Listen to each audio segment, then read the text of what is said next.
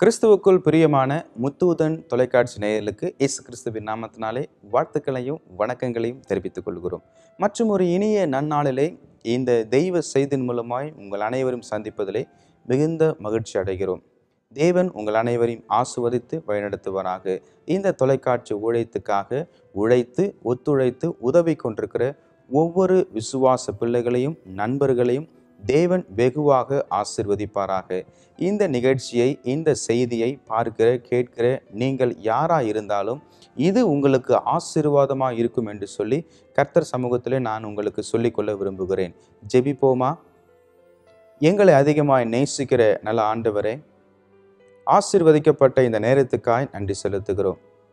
இந்த நிகழ்ச்சியை கேட்கிற பார்க்கிற ஒவ்வொரு பிள்ளைகளையும் கர்த்தர் ஆஸ்வதிக்க வேண்டுமா ஜெபிக்கிறோம். இந்த நிகழ்ச்சி எந்த வடிவத்தில் எப்படிப்பட்ட கோணத்தில் வந்திருந்தாலும் இயேசு தாமே இவர்களை ஆசுவதித்து கேட்கிற பார்க்கிற பிள்ளைகளுக்கு ஆசீர்வாதம் அமைய தேவன் கிருபை செய்ய வேண்டுமாய் இயேசுவின் மூலம் ஜெபிக்கிறோம். நல்ல பிதாவே ஆமேன். ஆமேன். கிறிஸ்துவுக்குள் பிரியமானவர்களே இந்த நிகழ்ச்சிக்காக ஜெபிக்கிற உங்கள் அனைவரையும் கிறிஸ்துவுக்குள்ளாய் வாழ்த்துகிறேன். உங்களுக்காய் நான் ஜெபிக்கிறேன். தேவன் உங்கள் அனைவரையும் ஆசிர்வதிப்பாராக. இந்த ஊழியம் தொடர்ந்து நடக்கத்தக்கதாக உங்களுடைய உதவிகளை நாங்கள் நாடியிருக்கிறோம். கர்த்தர் உங்கள் குடும்பத்தையும் உங்கள் தனிப்பட்ட வாழ்க்கையும் ஆசீர்வதிப்பாராக. எப்பொழுதாவது இன்னும் ஒரு சந்தர்ப்பம் நமக்கு கிடைக்காதா என்று சொல்லி நீங்கள் ஏங்கினது உண்டா? இதுவரைக்கும் செய்தது போதும் இனிமேல் இப்படி செய்ய வேண்டாம் என்று சொல்லி யாராவது உங்களிடத்திலே சொல்லி நான் இன்னும் ஒரு வாய்ப்பை தருகிறேன். அதை சரி செய்து கொள் என்று சொல்லி சொல்லும் பொழுது நீங்கள் எப்படி நடந்து கொண்டிருக்கிறீர்கள்?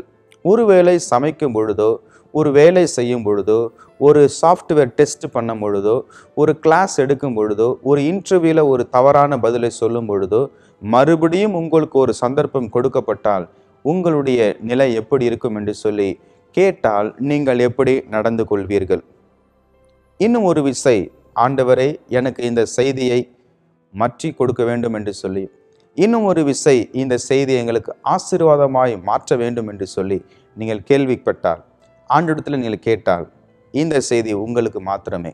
ஒருவேளை வாலிபனாய் இருக்கலாம் எனக்கு இன்னும் ஒரு விசை இன்னும் ஒரு சந்தர்ப்பம் கொடுக்கப்பட்டால் நான் யார் என்பதை நிச்சயமாய் வெளிக்காட்ட முடியும் என்று சொல்லி ஆண்டவர் உங்களுக்கு கொடுக்கிற ஆசீர்வாதமாக இதை மாற்ற தேவன் கிருபை செய்வாராக. இந்த நாளின் சத்தியத்துக்குள்ளாய் கடந்து போக போகிறோம் ஒரு அருமையான செய்தியை நாம் பார்க்க போகிறோம். ஒன்று ராஜாக்கள் இருபத்தி ஓராம் அதிகாரத்தில் பதினேழுலேருந்து இருபத்தி ஒன்பது வசனங்களிலே இந்த சத்தியம் நமக்கு அடங்கியிருக்கிறது. ஓரேப் என்ற ஒரு இடம் இருக்கிறது. அதிலே ஒரு சம்பவம் நடைபெறுகிறது. எலியா தீர்க்கதரிசி எசபேலுக்கு பயந்து கொண்டு தன்னுடைய ஜீவன் தப்பும்படியாக அங்கே அவர் காத்திருக்கிறார். தேவன் அவரை சந்தித்து நீ இங்கிருந்து எழுந்து நடந்து போ என்று சொல்லி அங்கே நடந்து போய் ஊழியத்தை செய்ய ஆரம்பிக்கிறார். அதற்கப்புறமாக சுமார் ஐந்திலிருந்து ஆறு வருடங்கள் எலியா திருக்கதரிசியை பற்றி எந்த ஒரு சம்பவமோ எந்த ஒரு செய்தியோ அந்த வட்டாரத்தில் சொல்லப்படவில்லை. எலியா திருக்கதரிசி நினைத்து கொண்டார். ஒருவேளை என்னுடைய தீர்க்கதரிச பள்ளிக்கு நான் கடந்து சென்று எலிசாவை நான் சரிப்படுத்துவதுதான் என்னுடைய கடைசி நாள் ஊழியம் என்று சொல்லி நினைத்து கொண்டு இனிமேலும் நான் வல்லமையாய் எந்த வேலையும் செய்ய முடியாது. இனிமேலும் நான் முன் போல பலமாய் எந்த காரியத்தையும் செய்ய முடியாதுன்னு சொல்லி நினைத்து கொண்டு ஒரு ஒரு ஒரு வட்டத்துக்குள்ளாய் தன்னை ஒடுக்கி கொண்டு அவர் அமர்ந்து விட்டார். சில சமயம் நாம் செய்கிற ஒரு வேலை நாம் செய்கிற ஒரு ஊழியம் இதுதான் கடைசி போல இனிமேலும் என்னை யாரும் கண்டு கொள்ள மாட்டார்கள் என்று சொல்லி நினைத்திருப்பு என்று சொன்னால் இதுதான் எலியாவினுடைய மனநிலையாக இருந்தது. வல்லமையாய் வேலைகளை செய்து நானூறுக்கும் மேற்பட்ட பொய் தீர்க்கதரிசிகளை கொன்று குவித்து கர்த்தர் தெய்வம் என்றால் அவரை நினைத்து கொள்ளுங்கள் பாகால் தெய்வம் என்றால் அவரை நினைத்து கொள்ளுங்கள் என்று சொல்லி இன்னும் ஒரு மலையிலே ஒரு பெரிய புரட்சியை செய்த ஒரு தீர்க்கதரிசி. எனக்கு இந்தந்த காரியங்களை செய்தார் நலமாயிருக்கும். இது ஆசீர்வாதமாய் அமையும் என்று சொல்லி நினைத்து நினைத்து பெருமை பெற்ற நாட்களும் உண்டு. ஆனால் சுமார் ஐந்திலிருந்து ஆறு வருடங்கள் இவரை குறித்து எந்த செய்தியுமே சொல்லப்படவில்லை. உங்களுடைய வாழ்க்கையில் யாராவது உங்களை ஒரு புத்தகம் போல் நடத்திருக்கிறார்களா? தேவைப்படும் பொழுது எடுத்து ரெஃபரன்ஸ் பார்த்துட்டு மறுபடியுமாய் அந்த புக் ஷெல்ஃபில் வச்சுட்டாங்களா? என்னை யாராவது எடுத்து பயன்படுத்த மாட்டார்களா? எனக்கு ஏதாவது ஒரு அங்கீகாரம் வராதா என்று சொல்லி நாம் நினைத்திருக்கிறோமா? தேவன் உங்களோடு கூட பேச ஆசையாக இருக்கிறார். இந்த செய்தியை நாம் பார்க்க வேண்டும் என்று சொன்னால் ஒன்று ராஜாக்கள் இருபத்தி ஓராம் அதிகாரம் பதினேழுலேருந்து பத்தொன்பது வசனங்களை நான் வாசிக்கும் பொழுது ஆண்டவர் இங்கு ஒரு அருமையான காரியத்தை சொல்லுகிறார். அந்த வசனத்தை நான் வாசிக்கிறேன். ஒன்று ராஜாக்கள் இருபத்தி ஒன்று பதினேழு. கர்த்தருடைய வார்த்தை திஸ்பியனாகிய எலியாவுக்கு உண்டாயிற்று. கர்த்தருடைய வார்த்தை உண்டாகும் நாள் வரைக்கும் ஒரு தீர்க்கதரிசி காத்திருக்க வேண்டும். என்ன செய்வது என்ன செய்யக்கூடாது எங்கே போவது எங்கே போகக்கூடாது என்று சொல்லி அறிவுரையும் கட்டளையும் பரலோகத்தின் தேவனிடத்திலிருந்து ஒரு உண்மையான தீர்க்கதரிசிக்கு வரும். அதுவரை தீர்க்கதரிசி இருக்கிற இடத்துல இருந்து ஊழியம் செய்ய வேண்டும். கத்துடைய பிள்ளையாய் நீங்கள் இருப்பீர்கள் என்று சொன்னால் ஒருவேளை மூன்று மாதங்கள் நான்கு மாதங்கள் பெரிய பெரிய படை முயற்சி கூட்டங்களை நடத்திருக்கலாம் பெரிய பெரிய ஜெப வாரங்களை நடத்திருக்கலாம் பெரிய பெரிய சத்தியங்களை நீங்கள் பகிர்ந்து கொண்டிருக்கலாம் பெரிய பெரிய மேடைகளை நீங்கள் சந்தித்திருக்கலாம் ஒருவேளை ஒரு சொல் நேரத்தில் உங்களை யாரும் கண்டுகொள்ளவில்லை என்று சொன்னால் ஆண்டுடைய வார்த்தை இன்னும் வரவில்லை என்று அர்த்தம். அதுவரை நீங்கள் ஜெபத்தோடு தரித்திருந்து தொடர்ந்து நீங்கள் செய்கிற காலை மாலை ஜெபங்களும் உங்களுடைய தனிப்பட்ட வேத வாசிப்பையும் நீங்கள் தொடர்ந்து செய்து கொண்டுதான் இருக்க வேண்டும். யார் மூலியமாகவும் மறுபடியும் உங்களுடைய உதவி தேவைப்படும் அப்பொழுது அடைப்பார்கள் அப்பொழுது நீங்கள் காத்திருக்க வேண்டும். அப்பொழுது நீங்கள் ஆயத்தமாகவும் இருக்க வேண்டும். அடுத்த வசனத்தை வாசிக்கிறேன். பதினெட்டாம் வசனம். நீ எழுந்து சமாரியாவில் இருக்கிற இஸ்ரவின் ராஜாவாகிய ஆகாப்பை சந்திக்கும்படி போ. இன்னும் இரண்டு நாட்களுக்கு பின்பாக நீ கடந்து போ என்று சொல்லவில்லை. கர்த்தருடைய வார்த்தை உண்டாயிற்று.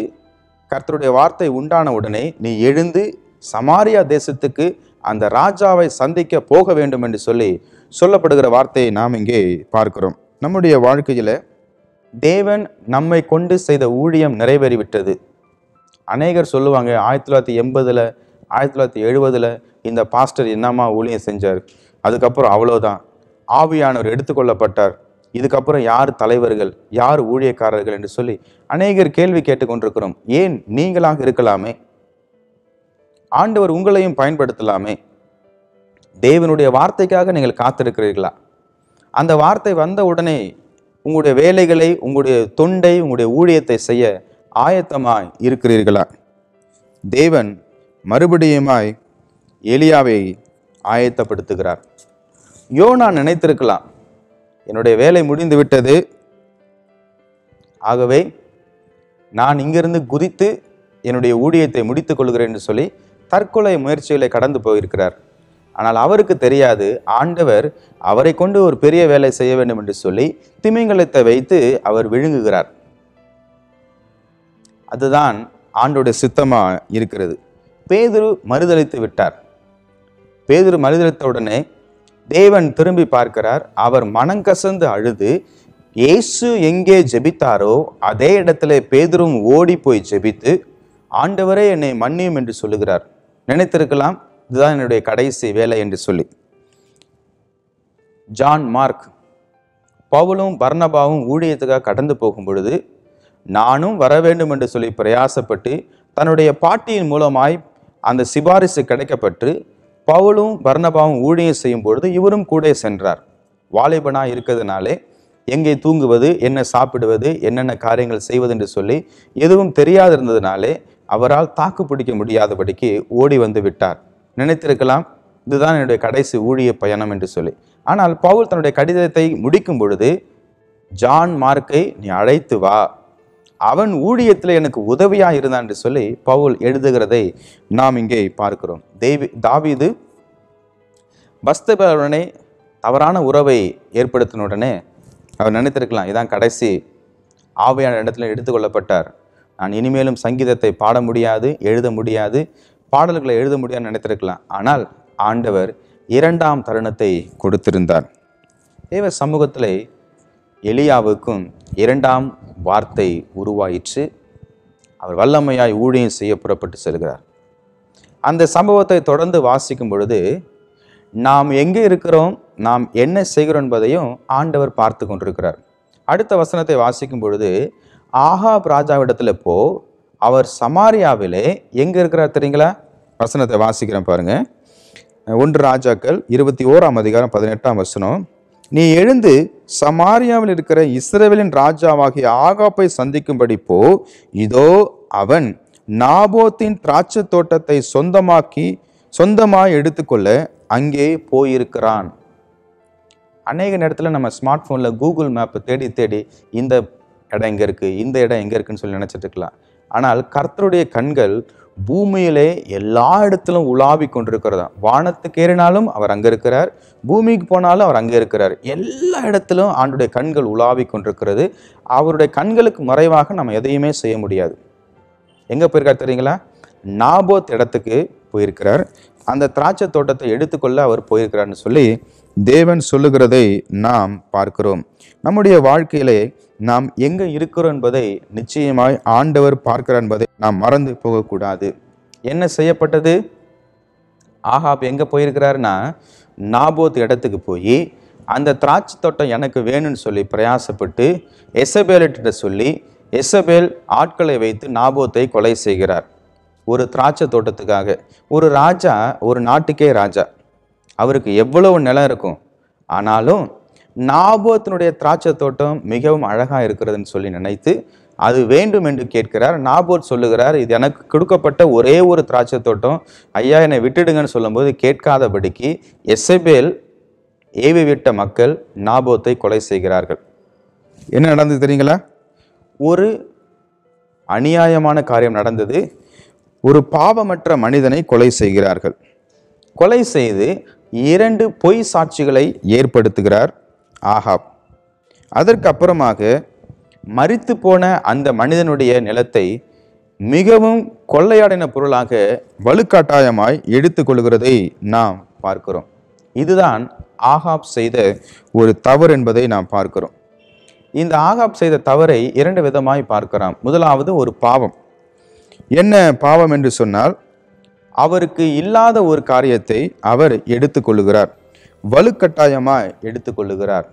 அடுத்ததாக அந்த பாவத்தின் விளைவாக தேவன் கொடுக்கிற தண்டனை. என்னென்ன செய்தார்? கொலை செய்கிறார் திருடுகிறார் மற்ற இடத்துலேருந்து கொள்ளை அடிகிற இச்சையான காரியத்தை செய்கிறார் அடுத்தது விக்கிர ஆராதனையை நடத்துகிறார் என்பதை நாம் பார்க்கிறோம். ஆகாப் இவ்வளவு காரியங்களை செய்யும் வரைக்கும் ஆண்டவர் பெரிய ஒரு கயிற்றை ஆகாப்பினுடைய கையிலே கொடுத்து இன்னும் என்ன வேணாலும் செய்ய என்று சொல்லி அனுமதித்திருந்தார். Many a times we think that when god gives a long rope it's god's permission no there are times that god will stop his rope he will pull us back to him அநேக நேரத்திலே ஒரு பெரிய கயிற்றை விடும் பொழுது தேவன் அனுமதிக்கிறார் என்று சொல்லி நாம் மிகவும் தைரியமாய் பாவங்களை செய்து கொண்டிருக்கலாம் ஆனால் ஒரு சமயம் ஆண்டவர் அந்த கயிற்றை பிடிப்பார் இழுப்பார் தன்னுக்குள்ளாக தன்னை நோக்கி அவர் இழுத்து கொள்வார் என்பதை நாம் மறந்து போகவே கூடாது. சில சமயம் போதும் என்று நாம் சொல்லலாம். ஆனால் ஆண்டவர் போதும் என்று சொன்னால் அதோட அதுக்கு மேலே எதுவும் செய்ய முடியாது. இப்பொழுது ஆப் செய்த தவறை சுட்டி காட்ட அந்த உலக அந்த நாட்டில் யாருக்கும் தைரியம் கிடையாது. ஒரே ஒரு நபருக்கு மட்டும்தான் தைரியம் இருக்குது. யாருன்னா எலியா தீர்க்கதரிசி எலியா தீர்க்கதரிசி இங்கிருந்து கடந்து எழுந்து அவர் கடந்து போகிறார்.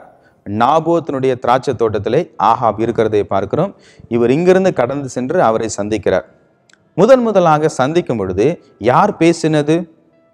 வேதம் சொல்லுகிறது ஆஹாப் ராஜா எலியா தீர்க்கதரிசியை பார்த்து என்னுடைய விரோதி என்னுடைய எதிரி வருகிறான் என்று சொல்லி கொடுக்கிற கொடு கூப்பிடுகிறார். ஆனால் யார் எதிரி தெரியுங்களா? ஒருவர் உங்களுடைய தவறை சொல்லி காட்டி உங்களை திருத்த விரும்பினால் அவர் உங்களுடைய நண்பன் என்று சொல்லி நான் வாசிக்கிறோம். ஒருவர் உங்களுடைய தவறிடத்தில் சேர்ந்து இன்னும் அதிகமான தவறுகளை செய்யத்தக்கதாக தூண்டி கொண்டிருந்தால் அவர் உங்களுடைய எதிரி என்று சொல்லி பார்க்கிறோம். ஆஹாப் எசபேல் எலியா. எலியா எப்பொழுதுமே ஆகாப் செய்கிற தவறை சுட்டிக்காட்டி மனம் திரும்பும்படி சொல்லிக்கொண்டே இருப்பார். ஆனால் ஆஹாப் எலியாவை எதிரியாய் பார்க்கிறார். எசபேல் ஒரு அந்நிய பெண் இயேசுவானவரை அறியாத ஒரு பெண் இஸ்ரவேல் தெய்வத்தை அறியாத ஒரு பெண். இந்த பெண் ஆகாப்பை பயன்படுத்தி எல்லா தவறான காரியங்கள் விக்கிர ஆராதனை காரியங்கள் எல்லா விதமான குழப்பமான காரியங்கள் பொய் தீர்க்கதரிசிகள் பாகாலுக்கு செய்ய வேண்டியவான எல்லா காரியத்தையும் இந்த மெய் தேவனை அறிந்த ஆகாப்பா வைத்து செய்து கொண்டிருக்கிறார். ஆனால் கணவன் மனைவி இருவரும் வேற வேற விசுவாசத்தை உடையவர்களாக இருந்திருக்கிறார்கள். ஆனால் இந்த சூழ்நிலையை பார்க்கும் பொழுது யார் யாரை பார்த்து எதிரின்னு சொல்லுகிறது? மிகவும் வித்தியாசமான ஒரு கோணத்தை நாம் இங்கே படித்து கொண்டிருக்கிறோம். இந்த சத்தியத்தை நாம் தொடர்ந்து படிக்கும் பொழுது அடுத்த பக்கத்துக்குள்ளாக வர வேண்டும் என்று சொன்னால் ஒன்று ராஜாக்கள் இருபத்தி ஓராம் அதிகாரம் இருபதாம் வசனத்திலே நாம் பார்க்க வேண்டும் என்று சொன்னால் அப்பொழுது ஆகாப் எலியாவை நோக்கி என் பகைங்கனே என்னை கண்டுபிடித்தாயா? என்றான். அதற்கு அவன் கண்டுபிடித்தேன்.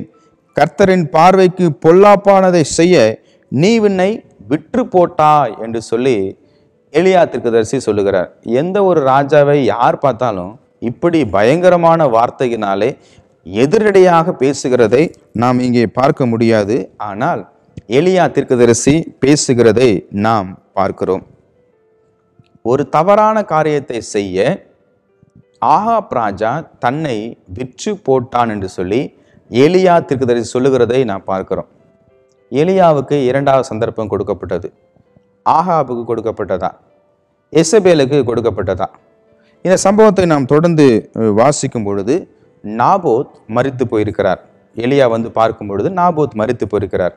எதற்காக மறித்தார் யார் மூலமாய் மறித்தார் யாரால் ம கொல்லப்பட்டார்? நாபோத் மறித்தது ஆஹாப்பனுடைய பேராசனின் மூலமாக. இச்சையாது இருப்பாயாக என்று கட்டளை எனக்கு கொடுக்கப்பட்டது.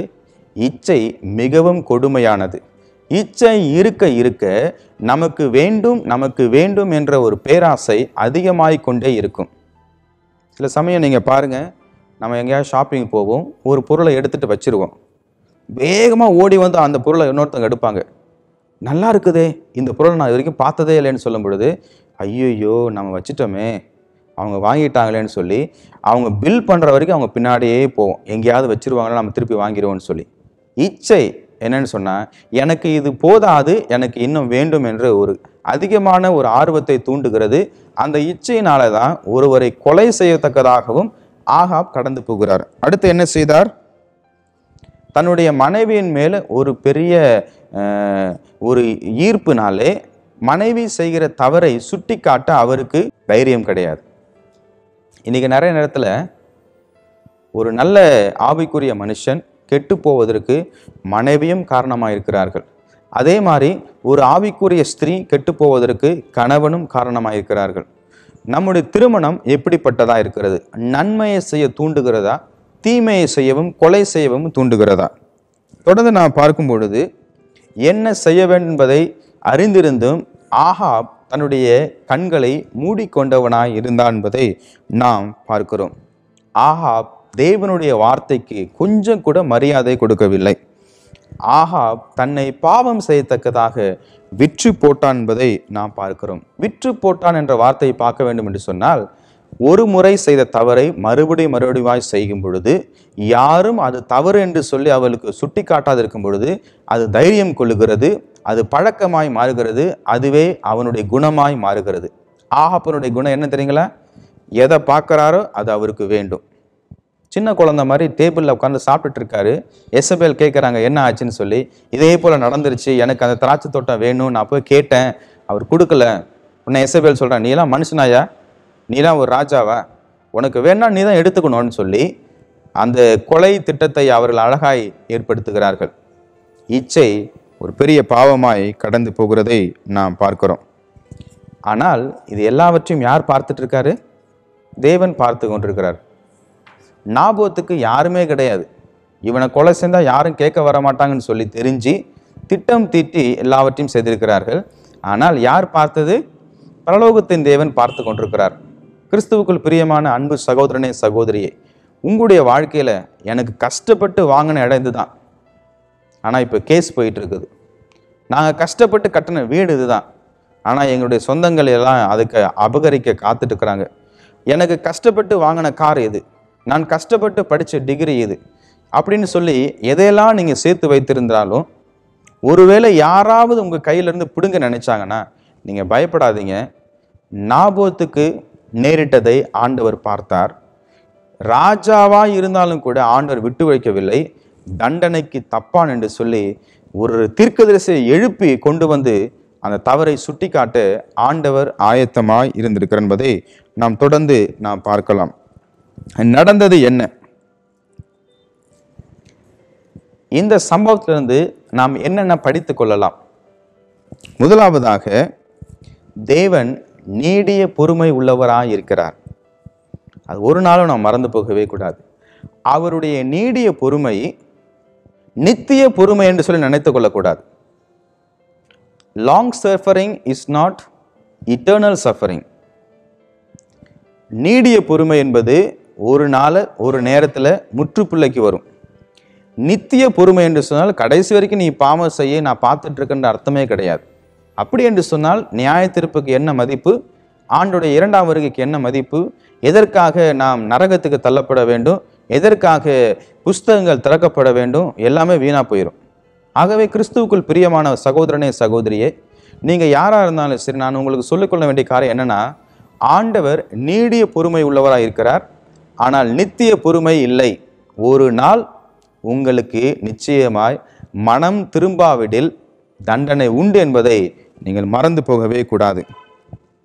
இரண்டாவது ஒரு காரியம் நாம் பார்க்கும் பொழுது நாம் என்ன செய்தாலும் நம்முடைய கிரியைக்கு தக்க பலனை நாம் நிச்சயமாய் அனுபவித்தே ஆக வேண்டும். நம்ம யாரும் தடுக்கலை. நம்ம என்ன வேணால் செய்யலாம்னு சொல்லி நினச்சிட்டு இருக்க வேண்டாம். ஒரு நாள் நிச்சயமாய் நீங்கள் செய்த காரியத்தை உங்களுடைய கண்களுக்கு எதிராக நீங்கள் பார்த்தே ஆக வேண்டும் என்பதை நீங்கள் மறந்து போகவே கூடாது. ஆண்டவர் எதை செய்தாலும் நிறைவாய் செய்வார் துரிதமாய் செய்வார் நியாயம் தீர்ப்பார் என்பதையும் நாம் மறந்து போகவே கூடாது.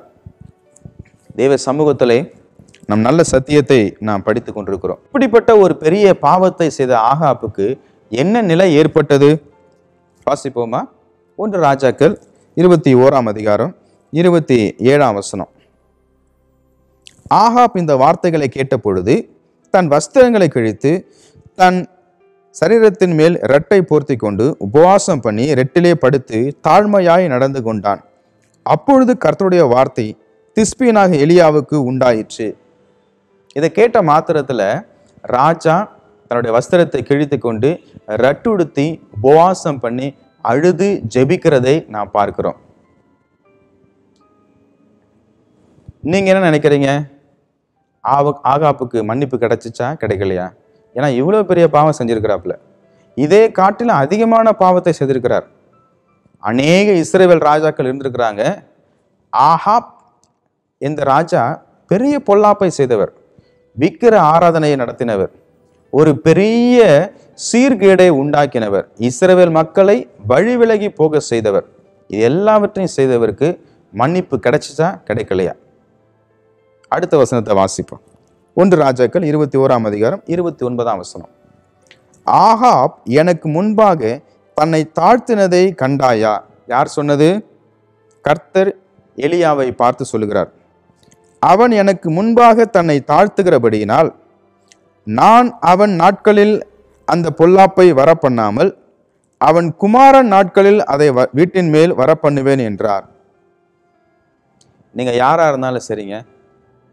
கோர்ட்டே உங்களுக்கு தண்டனையை கொடுத்து நீங்கள் தண்டனை போய் சிறைச்சாலைக்கு போயிட்டு வந்திருந்தாலும் சரி சமுதாயம் உங்களை பார்த்து வித்தியாசமாய் பார்த்தாலும் சரி நீங்கள் செய்த கொடுமையான காரியங்கள் அதிகமாக இருந்தாலும் சரி ஒரு ராஜாவை போல ஒரு நாட்டாமையை போல ஒரு ஜமீன்தாரை போல ஒரு செல்வந்தனை போல இருந்து எல்லா விதமான தீமையான காரியங்களை செய்திருந்தாலும் சரி இந்த நிகழ்ச்சியை பார்க்கிற நீங்கள் யாராக இருந்தாலும் சரி உங்களுடைய பாவங்கள் எவ்வளோ பெருசாக இருந்தாலும் சரி ஆண்டவர் இரண்டாவது சந்தர்ப்பத்தை கொடுக்கிறார்.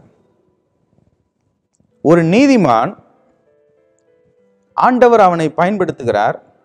ஒரு ஐந்து ஆறு வருஷங்கள் அவனை யாருமே கண்டுக்கல. ஒருவேளை சோகமும் தளர்வும் ஏற்பட்டிருக்கலாம். ஆண்டவர் இரண்டாவது சந்தர்ப்பத்தை கொடுத்து வேலையை செய்ய சொல்றார். ஒரு துன்மார்க்கன் எல்லா பாவத்தையும் செய்கிறார். கடைசியில் இந்த நீதிமானை வைத்து இதை செய்வது தவறு என்று சொல்லி சொல்லிக் கொடுக்க வருகிறார். இந்த துன்மார்க்கன் கேட்டு மனம் திரும்புகிறார். இந்த துன்மார்க்கனுக்கும் இரண்டாம் சந்தர்ப்பத்தை கொடுக்கிறார். நீங்கள் நீட் எக்ஸாம் எழுதி எழுதி போர் அடிச்சிருச்சா? டிஎன்பிஎஸ் எக்ஸாம் எழுதி எழுதி உங்களுக்கு போர் அடிச்சிருச்சா?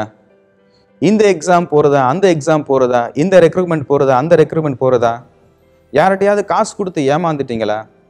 நீங்கள் தொடர்ந்து செய்கிற முயற்சியில் அதிகமான தோல்வி அடைந்திருக்கிறீங்களா? நிச்சயமாய் இன்னொரு சந்தர்ப்பம் உடைய இல்லத்தை நோக்கி உங்களுடைய கதவை தட்டும் என்பதை நீங்கள் மறந்து போகக்கூடாது. ஆண்டவர் அந்த சந்தர்ப்பத்தை கொடுக்கும் பொழுது எதுவுமே தடுக்க முடியாது. தேவன் உங்களுக்கு கொடுக்க வேண்டும் என்று சொல்லி நினைத்தால் யாரும் தடுக்க முடியாது. தேவன் உங்களுக்கு வேண்டாம் என்று சொல்லி நினைத்தால் யாரும் கொடுக்க முடியாது. எலியாவுக்கும் இரண்டாவது சந்தர்ப்பம் கொடுக்கப்பட்டது. அவரும் ஊழியத்தை செய்தார். ஆகாப்புக்கும் இரண்டாம் சந்தர்ப்பம் கொடுக்கப்பட்டது. அவரும் பாவ மன்னிப்பை பெற்றார். உங்களுக்கும் இரண்டாம் சந்தர்ப்பம் கொடுக்கப்படும். பாஸ்டையா எனக்கும் அந்த ரெண்டாவது சந்தர்ப்பம் கிடைக்கணும். எங்களுக்காக நீங்கள் ஜோம் பண்ணுங்க. நாங்கள் உங்களை பார்க்கலனாலும் உங்கள் நிகழ்ச்சியை நாங்கள் பார்த்துட்ருக்கோன்னு சொல்லி நீங்கள் சொன்னீங்கன்னா என்னோடு கூட நீங்களும் கண்களை மூடி ஜெபத்துக்குள்ளாய் வாருங்கள். நேசிக்கிற ஆண்டவரே இந்த நிகழ்ச்சியை பார்க்கிற கேட்கிற ஒவ்வொரு பிள்ளைகளையும் ஆண்டவர் ஆசீர்வதியும். இரண்டாம் சந்தர்ப்பம் ஒரு சன்மார்க்கனுக்கும் கொடுக்கப்பட்டது. ஒரு துன்மார்க்கனுக்கும் கொடுக்கப்பட்டது. இந்த நிகழ்ச்சியை பார்க்க எல்லாருக்கும் நீங்கள் கொடுக்க வருமான்னு ஜெபிக்கிறோம். யாருக்கெல்லாம் இரண்டாம் தருணம் கொடுக்கப்பட்டதோ சரியாய் பயன்படுத்தும் பொழுது கர்த்தருடைய பிள்ளைகளாய் மாறினது போல இவர்களும் மாறும்படியாக நாங்களும் மாறும்படியாக எங்களை ஆசிர்வதிக்க வேண்டுமா ஜெபிக்கிறோம். இந்த முத்தூதன் தொலைக்காட்சி ஊழியத்தை ஏற்று நடத்துகிற ஒவ்வொரு பிள்ளைகளையும் ஆண்டவர் ஆசிர்வதியும். இந்த ஊழியத்துக்காக உழைத்து ஒத்துழைத்து உதவி கொண்டு ஜெபித்து கொண்டு எல்லா உதவிகளையும் செய்கிற ஒவ்வொரு பிள்ளைகளையும் ஆண்டவர் ஆசிர்வதியும். இந்த நிகழ்ச்சியை பார்க்கிற பிள்ளைகள் அனைவருக்கும் அதிகமான பிள்ளைகளுக்கும் இதை அறிமுகப்படுத்தி ஆசீர்வாதத்தை பெறத்தக்கதாக தேவன் கிருபை செய்ய வேண்டுமா ஜெபிக்கிறோம். ஆசீர்வதியும் வழிநடத்தும். இயேசுவின் மூலம் ஜெபிக்கிறோம். எங்கள் ஜீவனுள்ள தேவனாய் கர்த்தாவே. ஆமேன். ஆமேன்.